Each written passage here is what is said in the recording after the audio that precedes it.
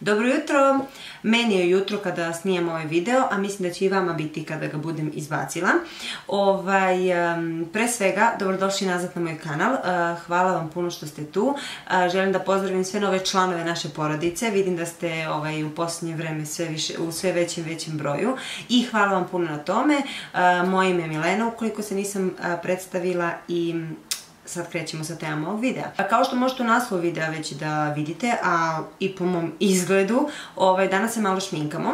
Htjela sam da vam snimim video koji ne znam kako ću nazvati, verovatno moja moj najdraži make-up look ili nešto slično, pošto, odnosno najčešće, ajde ili tako nešto, pošto se u posljednjih par meseci, kada se šminkam, najčešće se ovako šminkam. Najčešće se nisam šminkala, ali kada sam želela nešto malo onako da da se više potrudim i kada mi je došlo eto da se šminkam, onda je to bilo ovako, kao što ćete sada vidjeti. Ništa nije to previše, to su bili onako jednostavni brzinski make-up lookovi, variralo je možda samo oči sam malo jače nekada sredila ili intenzivnije ili ovaj slabije, ali kako je došlo proleće, kako se neke stvari kako su se neke stvari u mom životu promenile, tako sam ja nekako dobila veću ovaj volju za šminkanjem i za vežbanjem, tako da ćete u narednom periodu gledati nove make-up lookove, a možemo sada da počnemo. Ono što uvijek prvo radim je da vežem kosu, jer kada vidim da se neko šminka, a da mu kosa ovako svuda tu pada,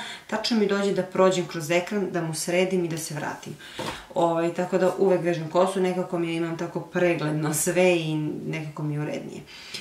Što se tiče ovaj, lica, kada se šminkam, naravno obavezno se umijem, očistim lice tonikom i namažem neku kremu i odmah prelazim na puder. Primere na nekom svakodnevnom nivou ili za neke ovako obavezice po gradu, dnevne najčešće, ne koristim. Mislim da mi nisu potrebni, to je samo jedan dodatan korak u šminkanju i mislim da je to potrebno eto, više za neke ozbiljnije prilike, da tako kažem, možda ne znam, za neki večernji izlazak, za neko, za neko dešavanje da ćete puno slikati i slično.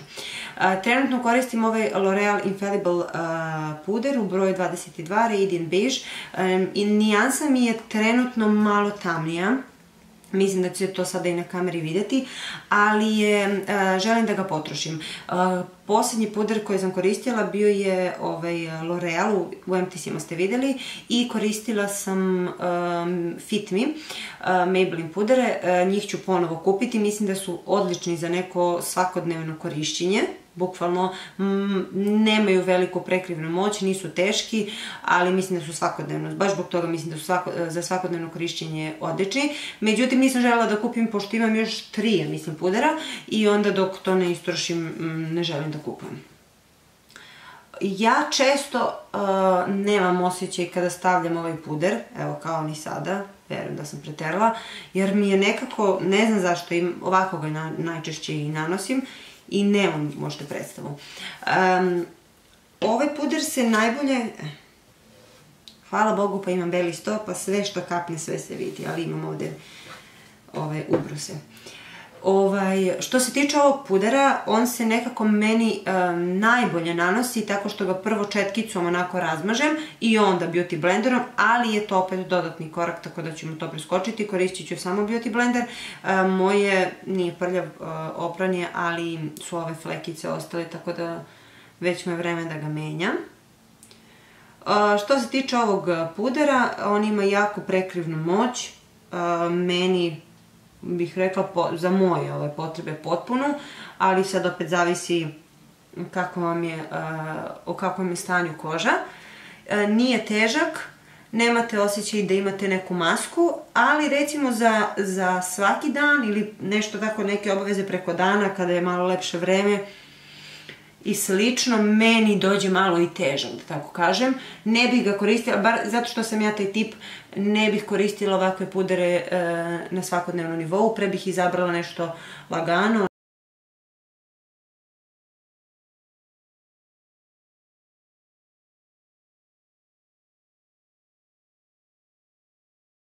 Uh, highlighter koji koristim jeste Benefitov Whatsapp, ovo je travel size i savjetovala bih vam ukoliko kupujete, ukoliko želite da probate, da kupite prvo uh, njega, da probate, mislim da ju, mislim da će vam jako dugo trajati, meni je ovaj već dve godine možda. Ove, što se tiče highlightera, highlightujete sve delove lica koje želite. Videli ste koje sam ja. Klasika, znači samo ono. Možete još da vidite.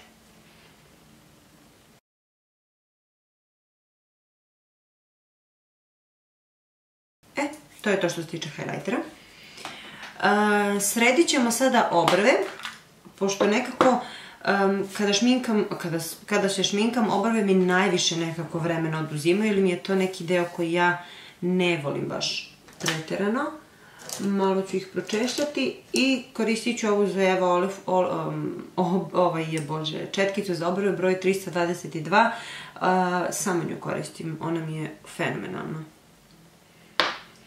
A proizvod koji koristim za obrve je jedan jedini, ja mislim, koji vi viđate na ovom kanalu, jeste ova Catrice paletica, koju imam baš dugo i mm, solidna mi je, mislim, nisam ni probala nešto puno tih proizvoda, tako da ne znam šta da vam kažem, ona mi je, mi je dobra. Što se tiče kapaka, ili nanesem malo korektora, čisto ukoliko želim nešto zbiljnije, ozbiljnije da radim uh, sa, sa kapcima, ukoliko želim uopšte da ih šminkam, ili, kao u ovom slučaju, naneću Maybelline uh, Color Tattoo Niansi Creme de Nude u broju 93. Najčešće nanosim korektor zato što ovaj, mislim da je ovaj uh, proizvod, odnosno ovaj korak bespotreban. Samo da nađem četkicu, izvinite. Evo je. Da, mislim da je ovaj korak bespotreban ukoliko se nekako šminkate onako uh, na svakodnevno nekom nivou. Mislim da odlično radi posao korektor. Što se tiče kapaka, situacija je tu vrlo jasna i jednostavna. U pregim nanosim bronzer, u pitanju je ovaj Hula bronzer od Benefita koji obožavam, imam ga već dve godine i totalno mi je favorit života, mislim. Ovaj, e, znači, u pregib nanosim ovaj, bronzer. Zašto? Zato što ću kasnije, naravno, i utopliti lice bronzerom i onda će se to fenomenalno spojiti i daće vam predivan, predivan onako izgled.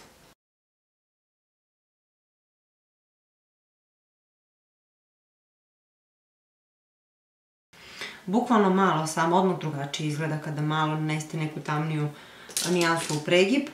E, I ono što još nanesem, ili nanesem e, preko pokretnog dela kapka Benefitov Highlighter, e, koji sam koristila za lice, ili uzmem jednu od senki iz ove Too Faced-ove palete novogodišnje, koja je predivna i koja mi je dalje omiljena. Ovaj, joj, miris i dalje čaroban. Uzet ću, ne znam koliko, Ginger Doodle, ne znam da li sad ćemo vidjeti, kako ćete vi to vidjeti. E, ovu nijansu ode. Vidjet ćete sada koliko lepo ona sije. I nju nanosim prstima. Tačnije prstom.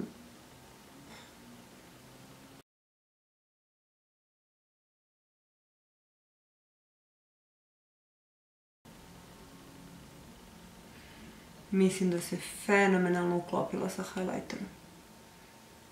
Predivno. Vratit ću se na četkicu sa kojom sam nanosila bronzer i samo ću ovako još jednom spojiti ove dve senke. E, I to je bilo to što se tiče očiju. Naneću još maskaru i to ću sada učiniti jer e, ja imam taj fenomen da ja večito maskaru preskočim, krenem iz kuće i negde dok se slikam ili negde po gradu neko primeti da nema maskaru, najčešće moja sestra i ona i dalje ne shvata kako se to meni dešava, ni ja, verujte mi. Što se tiče maskare, nanosim prvo uh, Bobbi Brown, prvo, ne prvo, nego nanosim prvo i jedino Bobbi Brown maskaru u nijansi Black. Meni se malo ova maskara osušila, ovaj, jer ima već neko vreme, fenomenalna maskara. Ukoliko želite da probate nešto tako od tih malo, ajde da kažem, luksuznijih brendova i želite i možete da odvojite 30-40 evra koliko ona košta, nisam sigurna. Preporuka za ovu maskoru, možete da probate, ja sam zadovoljna sa njom. Daje odličan volumen i odlično vam izduži trepavice, čak nekako, dobro sad mi je onako baš suva, ali posle par korišćenja kada se malo onako sušila, bile fenomenalno, fenomenalno. Nadam se da kamera može da pokupi to koliko je ova maskara dobra. Um, nisam sigurna da ću je kupiti jer mi je nekako žao da dam za maskaru 40, 50 ili koliko god evra, ali ukoliko nekada ponovo dođe do mene, bit će to super. E sada, još lice da završimo. Ovaj, I usne, naravno. Što se tiče lica, bronzer nanosim. Uh, opet uh, ovaj uh, Benefit of Bronzer i mislim imam i, i iz ove palete, pokazat ću vam Chocolate Soleil ali ne znam iz kog razloga njega ne koristim toliko često. Mislim da mi on trenutno i pretaman, pa zbog toga leti mi je odličan. Ali u posljednje vreme samo, samo uh, hulu. Četkica kojom nanosim jeste Body and Soul koja nema broj, ali ovako velika, pufnasta.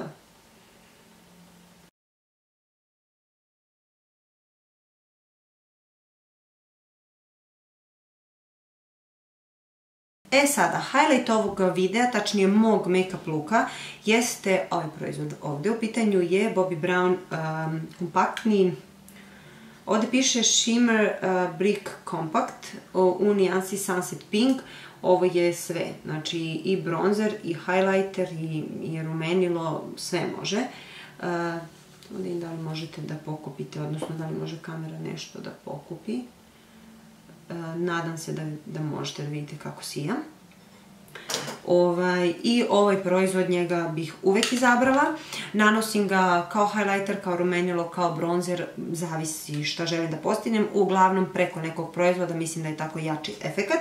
E, I naravno kao što možete vidjeti ovdje imamo onako e, nekoliko nijansi i zavisnosti od toga šta želite tu onako uzmete proizvod i ja nekako sa četkicom pređem svuda. I sada ću ga naneti preko highlightera Pa mislim. Mislim stvar.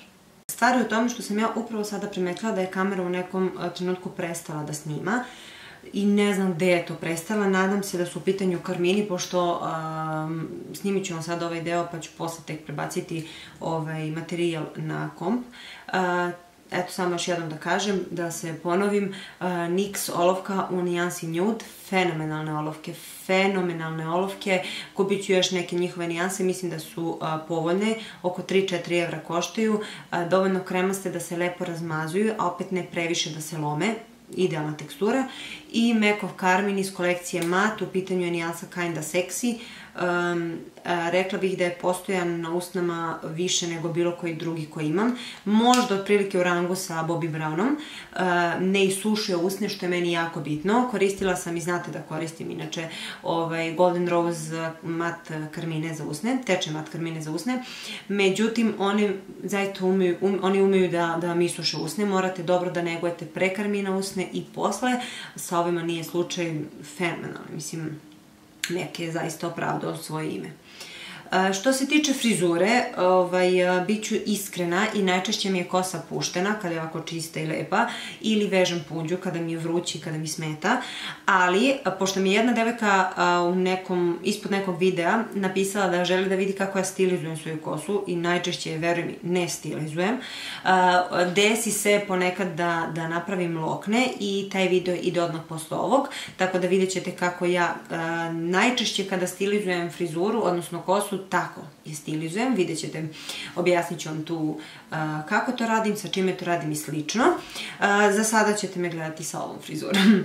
Ali svakako, to bi bilo to. Što se tiče ovog videa, pišite mi da li ste probale neke od ovih proizvoda, da li imate neke adekvatne zamene, šta mi to preporučujete i slične stvari, kako ste zadovoljne da ovim make-up lookom, kako vam se čini.